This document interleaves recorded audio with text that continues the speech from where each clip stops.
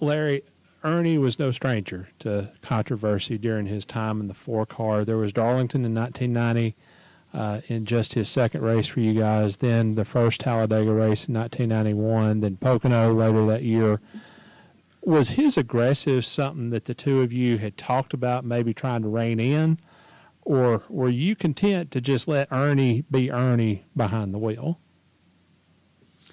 Well, being content caused us caused a lot of problems. Uh, Ernie was uh, really hard headed and strong minded. Uh, I, you know, I felt like he listened to me some, but he would still it was easy for him to get in trouble. Uh, he was always trying to push it, you know, over the to the edge, or maybe not over the edge, but Yeah. and a lot of times it went over the edge and. Um, and you may have a question about it, but I remember there was talk, there was talk about him kicking us out of racing that year. Had you heard that? I, I knew that it was getting pretty touchy. Yeah. Well, you know, um, Kyle Petty broke his Right. broke his uh, leg, and then uh, Neil Bonnett got hurt at uh, the first wreck we had in Darlington. Darlington. Yeah. There's some people got hurt, but you know, it takes two to tango. He was racing side by side with that car that when we wrecked at, at Darlington uh, for five for five laps, and he was too hard headed to give up. And and you can't. I mean, you can get on radio and say something, but you can't really at that time say something to somebody and and they'll listen. But uh, he was he was probably raced over his head, but that's probably what made him so good later. Yeah. Also, Yeah. and um, but I remember we went to Talladega. By the time we got back to the second Talladega, everybody was up in arms.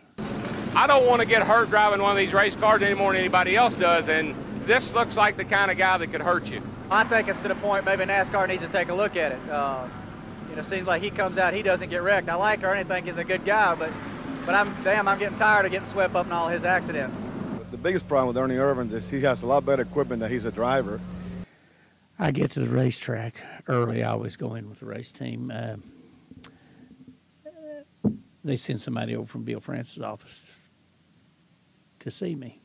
They, he wanted to see me, so I go over. And I go in, and uh, Richard Petty, Dale Earnhardt. Um,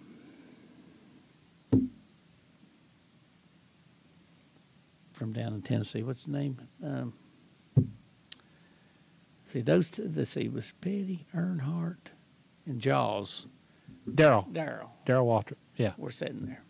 And Bill. So come on in, Larry. Let's come on. Bill straight up. I mean, I'm telling you, I loved him to death. He, he was, listen, nothing phased him.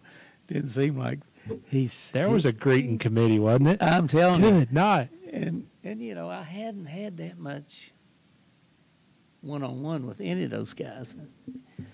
Uh, I really didn't know and and uh, I said, uh, Bill said, Larry, these guys won't kick your race car driver out of racing. They think he's uh, too reckless, hurting too many people. What do you think about it?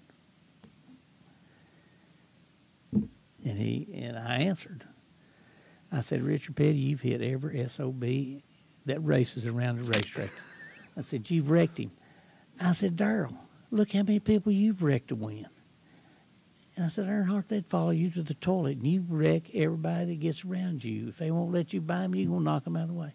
And you all are in your squalling about this little boy out here trying to make a living because you all can't beat him. I said, I'll talk to him. They said, well, would you, uh, Mr. France said, would you send Ernie over here when he comes in? I said, yeah. So that was it. I left. Well, when I, after I said those things, Bill France said, well, what do you think about that, boys? To the to the three guys there, and nobody really said anything. They didn't. They didn't say anything. So I left because that meeting wasn't going anywhere. So I went back and I told Ernie. I said, "Now, Ernie," I said, these people are serious about kicking you out of racing. I said, You're going the best thing that I can think of. If you get up in the driver's meeting, ask for it before the driver's meeting. Tell me you'd like to say something, and tell everybody that you're sorry if you've hurt people and driving over your head a little bit or whatever. And just, uh, and I said, by doing that, you're putting it on them. I've talked to a few of the drivers this week and um, some of the car owners, and um, you know I've lost a lot of respect. I've lost the respect of a lot of drivers and a lot of um, car owners in this garage area, and that hurts. Um, I've uh, drove a little bit over aggressive some. I'm going to work on trying to be a little more patient and want to earn everybody's respect back. I like to be um, liked in the garage area, and um, appreciate maybe if you guys give me a shot at it and I definitely want to be everybody's friend in here.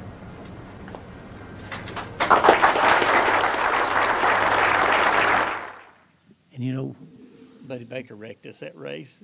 Just, yeah, it, I guess I don't know if he meant it or not, but it looked kind of suspicious.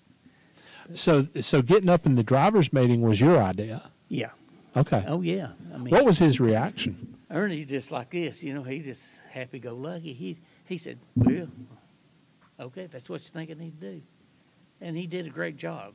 Mean, he did, he did a great job, uh, but he wasn't going to apologize to anybody.